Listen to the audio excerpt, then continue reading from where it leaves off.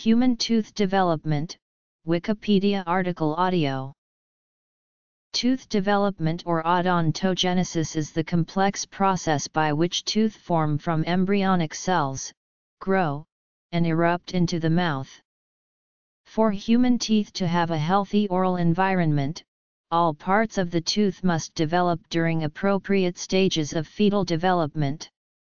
Primary teeth start to form between the 6th and 8th week of prenatal development, and permanent teeth begin to form in the 20th week. If teeth do not start to develop at or near these times, they will not develop at all, resulting in hypodontia or anodontia. Overview Human tooth development timeline Stages Initiation stage. Bud stage. Cap stage. Bell stage. Advanced bell stage. Hard tissue formation. Enamel. Dentin. Cementum. Formation of the periodontium. Periodontal ligament Alveolar bone. Gingiva. Nerve and vascular formation. Nerve formation. Vascular formation. Tooth eruption. Nutrition and tooth development. Developmental disturbances. Additional references A significant amount of research has focused on determining the processes that initiate tooth development. It is widely accepted that there is a factor within the tissues of the first pharyngeal arch that is necessary for the development of teeth. The tooth germ is an aggregation of cells that eventually forms a tooth. These cells are derived from the ectoderm of the first pharyngeal arch and the ectomesenchyme of the neural crest. The tooth germ is organized into three parts, the enamel organ, the dental papilla and the dental sac or follicle. The enamel organ is composed of the outer enamel epithelium, inner enamel epithelium, stellate reticulum, and stratum intermedium. These cells give rise to ameloblasts, which produce enamel and become a part of the reduced enamel epithelium after maturation of the enamel. The location where the outer enamel epithelium and inner enamel epithelium join is called the cervical loop. The growth of cervical loop cells into the deeper tissues forms Hertwig epithelial root sheath, which determines the root shape of the tooth. During tooth development there are strong similarities between keratinization and amelogenesis. Keratin is also present in epithelial cells of tooth germ and a thin film of keratin is present on a recently erupted tooth. The dental papilla contains cells that develop into odontoblasts, which are dentin-forming cells. Additionally, the junction between the dental papilla and inner enamel epithelium determines the crown shape of a tooth. Mesenchymal cells within the dental papilla are responsible for formation of tooth pulp. The dental sac or follicle gives rise to three important entities, cementoblasts, osteoblasts, and fibroblasts. Cementoblasts form the cementum of a tooth. Osteoblasts give rise to the alveolar bone around the roots of teeth. Fibroblasts are involved developing the periodontal ligament which connect teeth to the alveolar bone through cementum. NGFR is present in the condensing ectomesenchymal cells of the dental papilla in the early cap stage tooth germ and plays multiple roles during morphogenetic and cytodifferentiation events in the tooth. There is a relationship between tooth agenesis and absence of the peripheral trigeminal nerve. All stages, growth, and morphogenesis of the teeth are regulated by a protein called sonic hedgehog.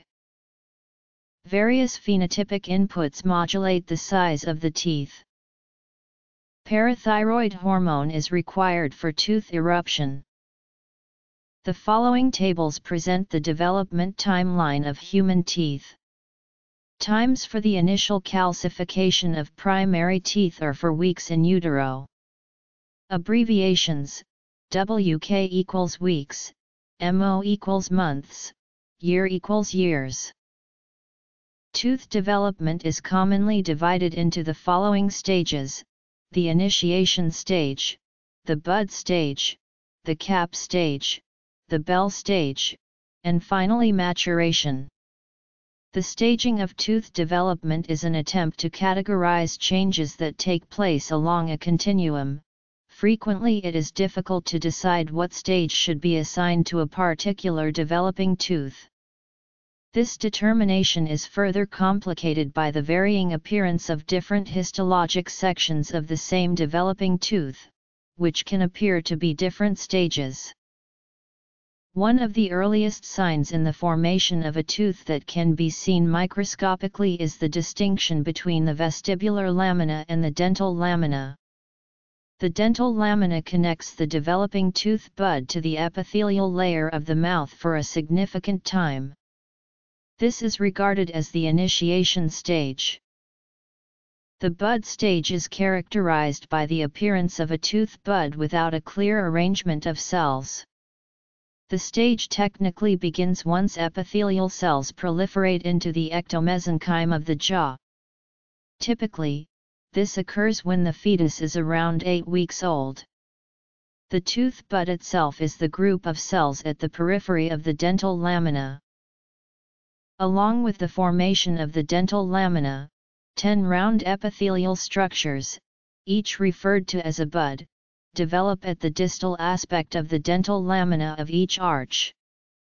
These correspond to the 10 primary teeth of each dental arch, and they signify the bud stage of tooth development. Each bud is separated from the ectomesenchyme by a basement membrane. Ectomesenchymal cells congregate deep to the bud, forming a cluster of cells, which is the initiation of the condensation of the ectomesenchyme. The remaining ectomesenchymal cells are arranged in a more or less haphazardly uniform fashion. The first signs of an arrangement of cells in the tooth bud occur in the cap stage. A small group of ectomesenchymal cells stops producing extracellular substances, which results in an aggregation of these cells called the dental papilla. At this point, the tooth bud grows around the ectomesenchymal aggregation, taking on the appearance of a cap, and becomes the enamel organ covering the dental papilla. A condensation of ectomesenchymal cells called the dental sac or follicle surrounds the enamel organ and limits the dental papilla. Eventually, the enamel organ will produce enamel, the dental papilla will produce dentin and pulp, and the dental sac will produce all the supporting structures of a tooth, the periodontium. The Bell stage is known for the histodifferentiation and morphodifferentiation that takes place. The dental organ is bell-shaped during this stage, and the majority of its cells are called stellate reticulum because of their star-shaped appearance. The Bell stage is divided into the early Bell stage and the late Bell stage. Cells on the periphery of the enamel organ separate into four important layers. Cuboidal cells on the periphery of the dental organ are known as outer enamel epithelium. The columnar cells of the enamel organ adjacent to the enamel papilla are known as inner enamel epithelium. The cells between the IE and the stellate reticulum form a layer known as the stratum intermedium. The rim of the enamel organ where the outer and inner enamel epithelium join is called the cervical loop. In summary, the layers in order of innermost to outermost consist of dentin, enamel, inner enamel epithelium and stratum intermedium. What follows is part of the initial enamel organ, the center of which is made up of stellate reticulum cells that serve to protect the enamel organ. This is all encased by the OEE layer. Other events occur during the Bell stage.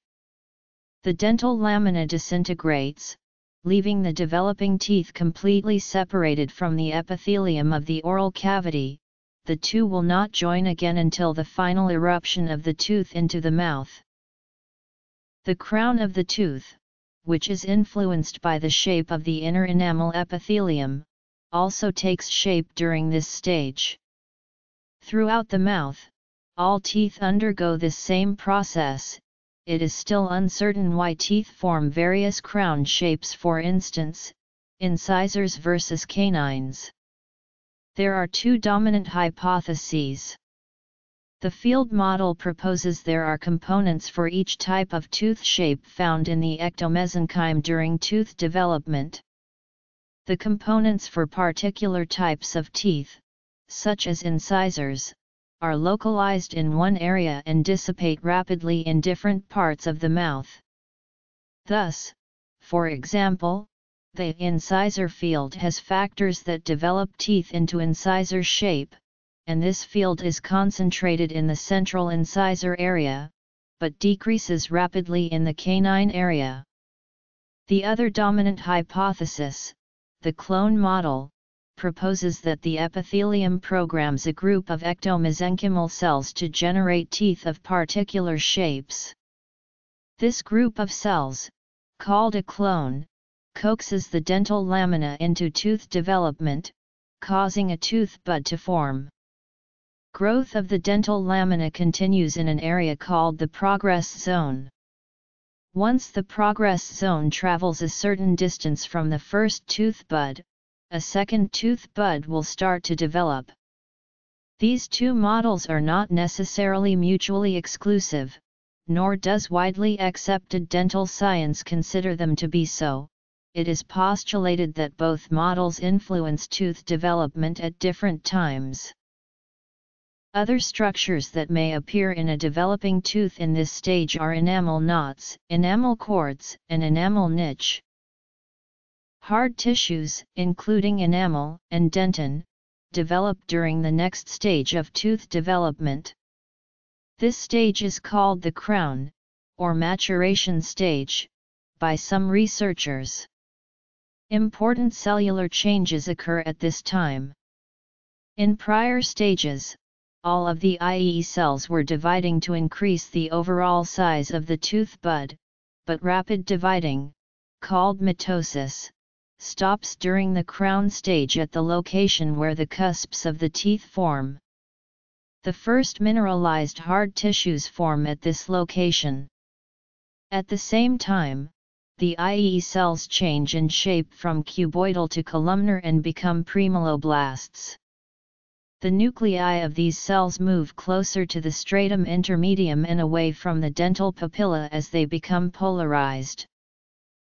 The adjacent layer of cells in the dental papilla suddenly increases in size and differentiates into odontoblasts, which are the cells that form dentin.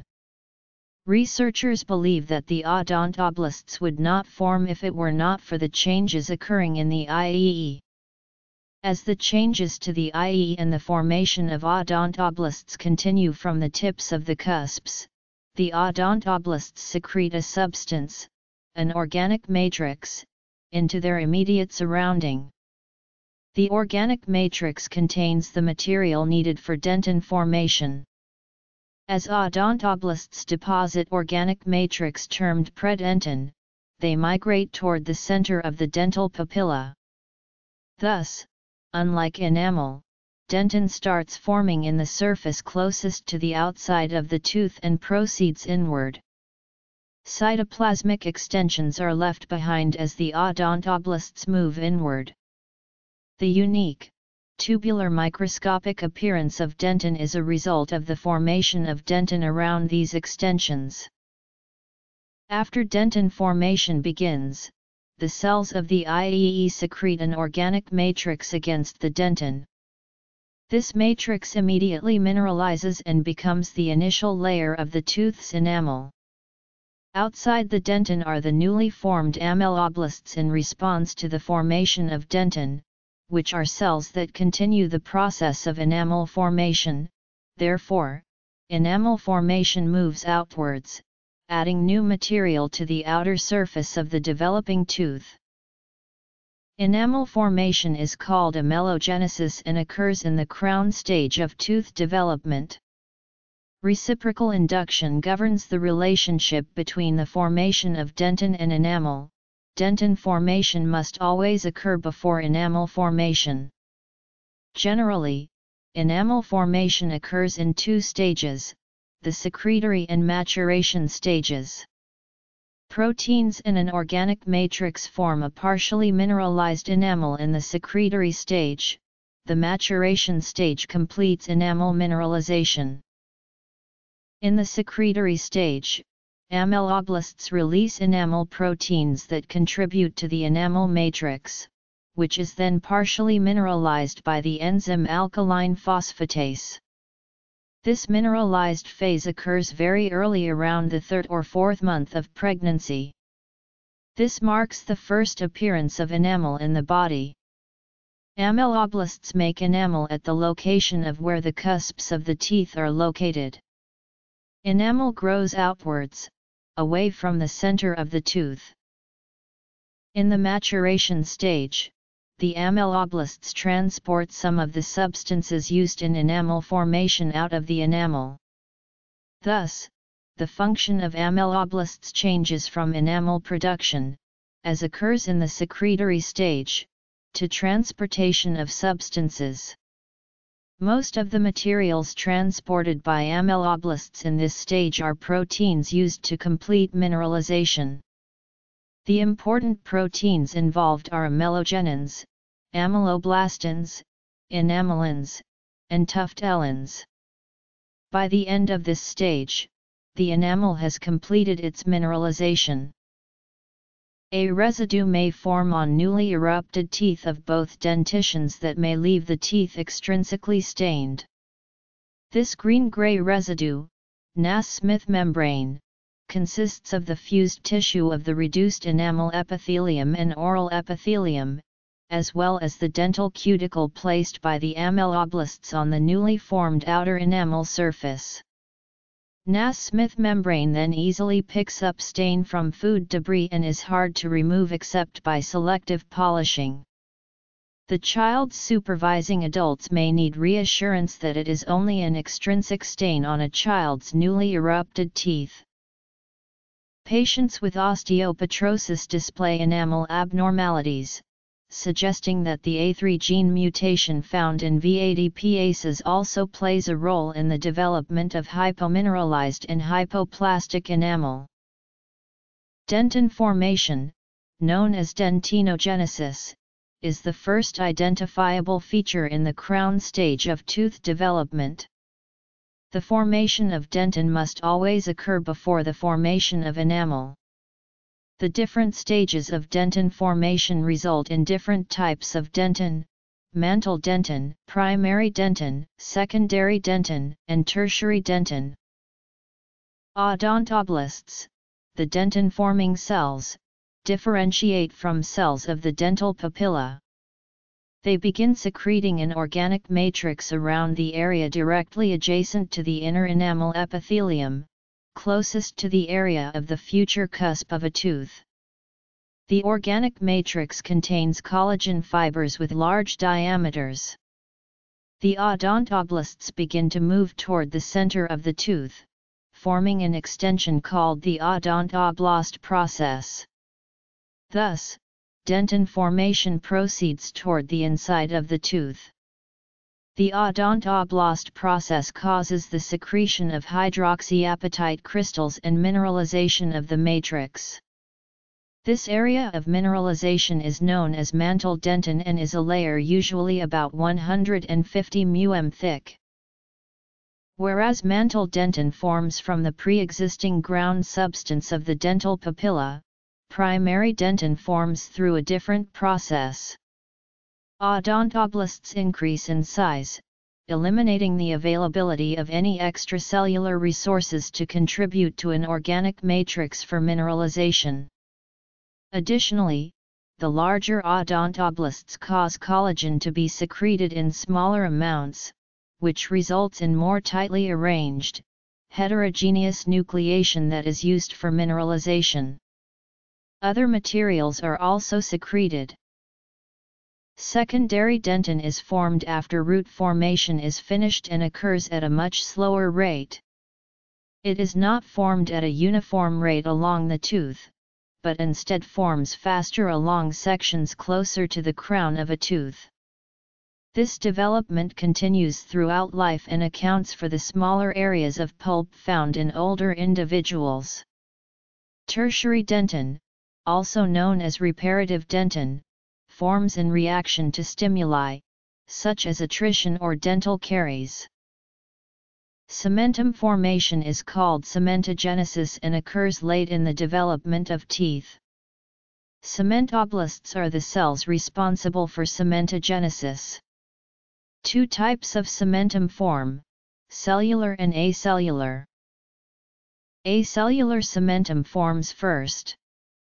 The cementoblasts differentiate from follicular cells, which can only reach the surface of the tooth's root once Hertwig's epithelial root sheath has begun to deteriorate. The cementoblasts secrete fine collagen fibrils along the root surface at right angles before migrating away from the tooth. As the cementoblasts move, more collagen is deposited to lengthen and thicken the bundles of fibers. Non-collagenous proteins, such as bone sialoprotein and osteocalcin, are also secreted. Acellular cementum contains a secreted matrix of proteins and fibers. As mineralization takes place, the cementoblasts move away from the cementum, and the fibers left along the surface eventually join the forming periodontal ligaments. Cellular cementum develops after most of the tooth formation is complete and after the tooth occludes with a tooth in the opposite arch. This type of cementum forms around the fiber bundles of the periodontal ligaments. The cementoblasts forming cellular cementum become trapped in the cementum they produce. The origin of the formative cementoblasts is believed to be different for cellular cementum and acellular cementum. One of the major current hypotheses is that cells producing cellular cementum migrate from the adjacent area of bone, while cells producing acellular cementum arise from the dental follicle. Nonetheless, it is known that cellular cementum is usually not found in teeth with one root. In premolars and molars, cellular cementum is found only in the part of the root closest to the apex and in interradicular areas between multiple roots. The periodontium, which is the supporting structure of a tooth, consists of the cementum, periodontal ligaments, gingiva, and alveolar bone. Cementum is the only one of these that is a part of a tooth. Alveolar bone surrounds the roots of teeth to provide support and creates what is commonly called a socket. Periodontal ligaments connect the alveolar bone to the cementum, and the gingiva is the surrounding tissue visible in the mouth. Cells from the dental follicle give rise to the periodontal ligament. Specific events leading to the formation of the periodontal ligament vary between deciduous and permanent teeth and among various species of animals. Nonetheless, formation of the periodontal ligament begins with ligament fibroblasts from the dental follicle. These fibroblasts secrete collagen, which interacts with fibers on the surfaces of adjacent bone and cementum. This interaction leads to an attachment that develops as the tooth erupts into the mouth. The occlusion, which is the arrangement of teeth and how teeth in opposite arches come in contact with one another, continually affects the formation of periodontal ligament. This perpetual creation of periodontal ligament leads to the formation of groups of fibers in different orientations, such as horizontal and oblique fibers. As root and cementum formation begin, bone is created in the adjacent area. Throughout the body, cells that form bone are called osteoblasts. In the case of alveolar bone, these osteoblast cells form from the dental follicle. Similar to the formation of primary cementum, collagen fibers are created on the surface nearest the tooth, and they remain there until attaching to periodontal ligaments. Like any other bone in the human body, alveolar bone is modified throughout life. Osteoblasts create bone and osteoclasts destroy it, especially if force is placed on a tooth. As is the case when movement of teeth is attempted through orthodontics using bands, wires, or appliances, an area of bone under compressive force from a tooth moving toward it has a high osteoclast level, resulting in bone resorption. An area of bone receiving tension from periodontal ligaments attached to a tooth moving away from it has a high number of osteoblasts, resulting in bone formation. Thus, the tooth or teeth are slowly moved along the jaw so as to achieve a dentition that works in harmony. In this way, the width of the space between the alveoli and the root is kept about the same. The connection between the gingiva and the tooth is called the dentogingival junction. This junction has three epithelial types, gingival, sulcular, and junctional epithelium. These three types form from a mass of epithelial cells known as the epithelial cuff between the tooth and the mouth. Much about gingival formation is not fully understood, but it is known that hemidesmosomes form between the gingival epithelium and the tooth and are responsible for the primary epithelial attachment. Hemidesmosomes provide anchorage between cells through small filament-like structures provided by the remnants of ameloblasts. Once this occurs, junctional epithelium forms from reduced enamel epithelium, one of the products of the enamel organ, and divides rapidly. This results in the perpetually increasing size of the junctional epithelial layer and the isolation of the remnants of ameloblasts from any source of nutrition. As the ameloblasts degenerate, a gingival sulcus is created. Frequently, nerves and blood vessels run parallel to each other in the body, and the formation of both usually takes place simultaneously and in a similar fashion. However, this is not the case for nerves and blood vessels around the tooth, because of different rates of development. Nerve fibers start to near the tooth during the cap stage of tooth development and grow toward the dental follicle. Once there, the nerves develop around the tooth bud and enter the dental papilla when dentin formation has begun. Nerves never proliferate into the enamel organ. Blood vessels grow in the dental follicle and enter the dental papilla in the cap stage.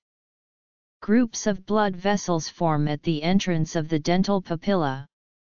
The number of blood vessels reaches a maximum at the beginning of the crown stage, and the dental papilla eventually forms in the pulp of a tooth.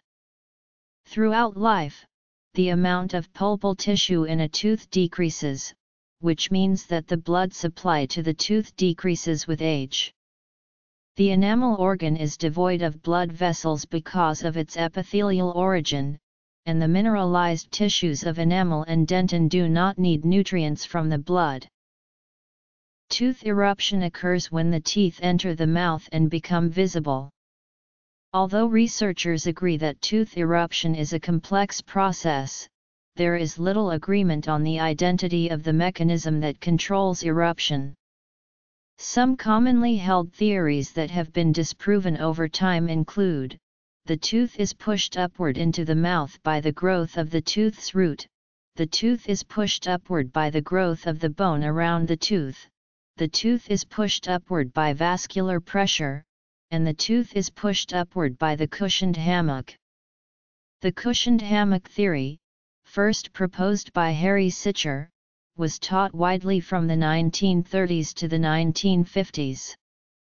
This theory postulated that a ligament below a tooth, which Sicher observed under a microscope on a histologic slide, was responsible for eruption. Later, the ligament Sicher observed was determined to be merely an artifact created in the process of preparing the slide. The most widely held current theory is that while several forces might be involved in eruption, the periodontal ligaments provide the main impetus for the process. Theorists hypothesize that the periodontal ligaments promote eruption through the shrinking and cross-linking of their collagen fibers and the contraction of their fibroblasts. Although tooth eruption occurs at different times for different people, a general eruption timeline exists. Typically, humans have 20 primary teeth and 32 permanent teeth. Tooth eruption has three stages. The first, known as deciduous dentition stage, occurs when only primary teeth are visible. Once the first permanent tooth erupts into the mouth, the teeth are in the mixed dentition. After the last primary tooth falls out of the mouth a process known as exfoliation the teeth are in the permanent dentition. Primary dentition starts on the arrival of the mandibular central incisors, usually at 8 months, and lasts until the first permanent molars appear in the mouth, usually at 6 years. The primary teeth typically erupt in the following order, central incisor, lateral incisor, first molar, canine, and second molar. As a general rule, four teeth erupt for every six months of life, mandibular teeth erupt before maxillary teeth, and teeth erupt sooner in females than males. During primary dentition, the tooth buds of permanent teeth develop below the primary teeth, close to the palate or tongue. Mixed dentition starts when the first permanent molar appears in the mouth, usually at 6 years, and lasts until the last primary tooth is lost, usually at 11 or 12 years. Permanent teeth in the maxilla erupt in a different order from permanent teeth on the mandible. Maxillary teeth erupt in the following order, first molar central incisor, lateral incisor, first premolar, second premolar, canine, second molar, and third molar. Mandibular teeth erupt in the following order, first molar central incisor, lateral incisor, canine, first premolar, second premolar, second molar, and third molar. Since there are no premolars in the primary dentition, the primary molars are replaced by permanent premolars. If any primary teeth are lost before permanent teeth are ready to replace them, some posterior teeth may drift forward and cause space to be lost in the mouth. This may cause crowding and slash or misplacement once the permanent teeth erupt, which is usually referred to as malocclusion. Orthodontics may be required in such circumstances for an individual to achieve a straight set of teeth. The permanent dentition begins when the last primary tooth is lost, usually at 11 to 12 years, and lasts for the rest of a person's life or until all of the teeth are lost. During this stage, third molars are frequently extracted because of decay, pain, or impactions. The main reasons for tooth loss are decay and periodontal disease. Immediately after the eruption enamel is covered by a specific film, Nasmyth's membrane or enamel cuticle, structure of embryological origin is composed of keratin which gives rise to the enamel organ. As in other aspects of human growth and development, nutrition has an effect on the developing tooth. Essential nutrients for a healthy tooth include calcium, phosphorus, and vitamins A, C, and D. Calcium and phosphorus are needed to properly form the hydroxyapatite crystals, and their levels in the blood are maintained by vitamin D. Vitamin A is necessary for the formation of keratin, as vitamin C is for collagen. Fluoride, although not a nutrient, is incorporated into the hydroxyapatite crystal of a developing tooth and bones. The dental theory is the low levels of fluoride incorporation and very mild fluorosis makes the tooth more resistant to demineralization and subsequent decay. Deficiencies of nutrients can have a wide range of effects on tooth development. In situations where calcium, phosphorus, and vitamin D are deficient, the hard structures of a tooth may be less mineralized. A lack of vitamin A can cause a reduction in the amount of enamel formation. Fluoride ingestion has been noted to delay eruption of teeth for as much as a year or more from the accepted eruption dates since the initial 1940s fluoridation trials. Researchers theorize that the delay is a manifestation of fluoride's depressing impact on thyroid hormones. The delay in eruption has been suggested as the reason for the apparent difference in decay among the youngest children. Fluoride ingestion during tooth development can lead to a permanent condition known as fluorosis with varying levels of severity, the result of fluoride's interference with the normal osteoblast development. Undiagnosed and untreated celiac disease often causes dental enamel defects and can be the only manifestation of the disease, in absence of gastrointestinal symptoms or malabsorption signs. Bisphenol A is a hormone-disrupting chemical that has been implicated in having negative effects on human health, including, but not limited to, fetal development. As shown in animal studies which mimic human enamel, the mother's consumption of products with BPA during pregnancy can lead to the child's tooth development being obstructed. Those children are shown to be prone to incisor and first molar hypomineralization, a weakened state of the enamel. Additionally, it is most important for mothers to avoid BPA during pregnancy, but also avoid BPA use in the child's products up to 5 months of age. Though reason is not fully understood, high levels of cheese consumption during pregnancy may reduce the risk of childhood caries. Reducing childhood caries leads to a higher quality of life by reducing pain and discomfort. Anodontia is a complete lack of tooth development, and hypodontia is a lack of some tooth development. Anodontia is rare, most often occurring in a condition called hypohidrotic ectodermal dysplasia, while hypodontia is one of the most common developmental abnormalities, affecting 3.58.0% of the population. The absence of third molars is very common, occurring in 20-23% of the population, followed in prevalence by the second premolar and lateral incisor. Hypodontia is often associated with the absence of a dental lamina, which is vulnerable to environmental forces, such as infection and chemotherapy medications, and is also associated with many syndromes, such as Down syndrome and Crouzon syndrome. Hyperdontia is the development of extraneous teeth. It occurs in 1-3% of Caucasians and is more frequent in Asians. About 86% of these cases involve a single extra tooth in the mouth, most commonly found in the maxilla, where the incisors are located. Hyperdontia is believed to be associated with an excess of dental lamina. Dilaceration is an abnormal bend found on a tooth, and is nearly always associated with trauma that moves the developing tooth bud. As a tooth is forming, a force can move the tooth from its original position, leaving the rest of the tooth to form at an abnormal angle.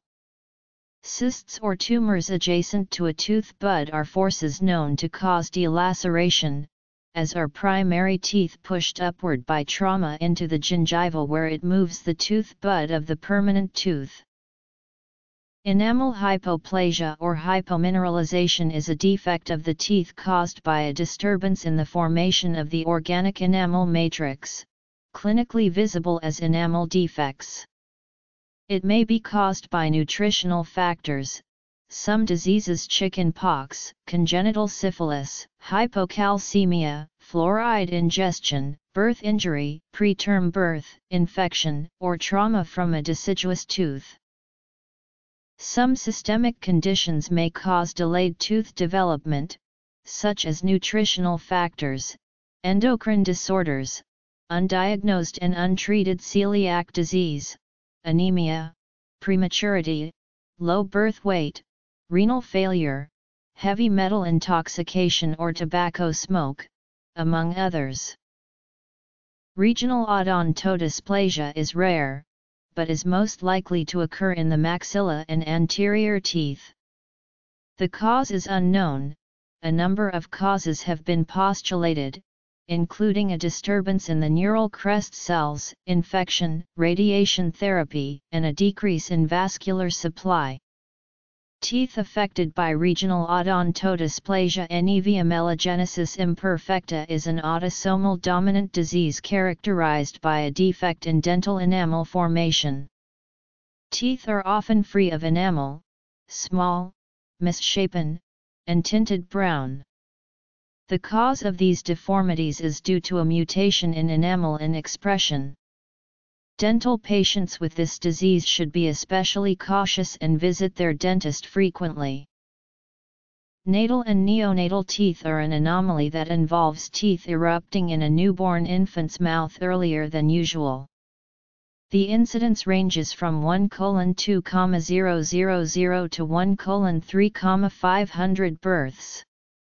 Natal teeth are more frequent, approximately three times more common than neonatal teeth. Some authors reported a higher prevalence in females than males. The most common location is the mandibular region of the central incisors.